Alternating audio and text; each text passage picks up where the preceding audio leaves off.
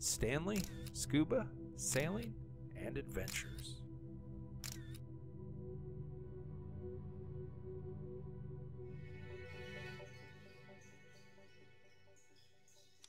Scuba diving, the British Virgin Islands. Dive site, the RMS Rhone wreck. Bow such divers can fit through. There's another one of the divers from my group. As I turn around to face back toward the entrance, you can see there are some other divers waiting to come